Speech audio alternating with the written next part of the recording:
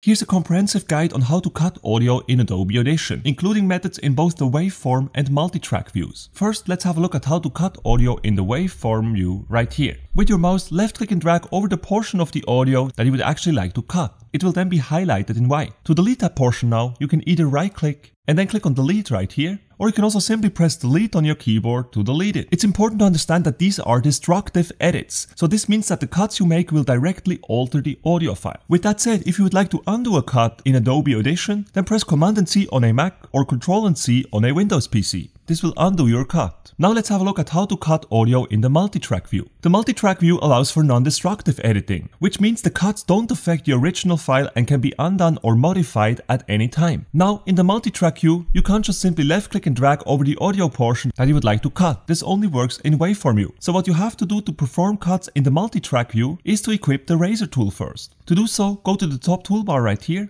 and select the razor tool.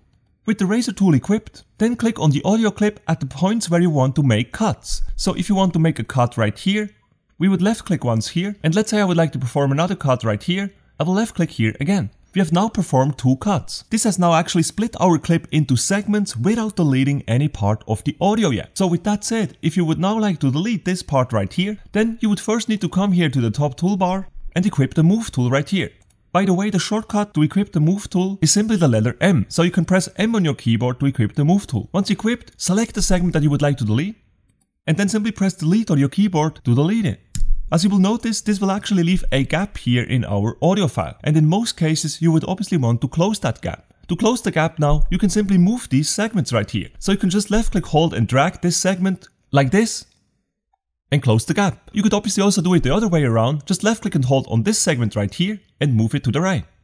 Also, you could move this segment to the very end, for example. So maybe you want to place this segment right here actually after this one here, then just do the same and drag it all the way to the right. Now, whenever you want to close the gap right away, there is actually an easier way to get the job done. First, select the segment that you would like to delete, then right click on it, click on Ripple Delete, and choose Selected Clips.